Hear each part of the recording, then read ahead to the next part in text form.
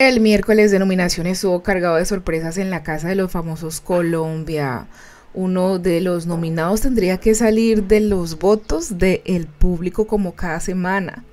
Antes salían dos, ahora está saliendo uno solo y en esta oportunidad fue el influencer Camilo Díaz el que recibió menos votos de los colombianos, pero hay algo que preocupa y es que este chico fue uno de los participantes que recibió más votos para entrar a la casa, entonces no entendemos por qué no fue Sebastián y fue él.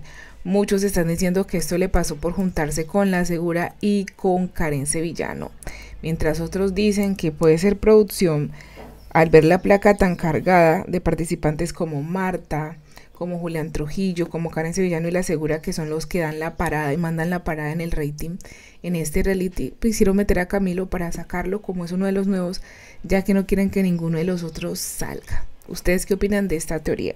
¿Será cierto que el canal se está desquitando con los nuevos para que haya más picante con los antiguos participantes y duren más tiempo en la casa?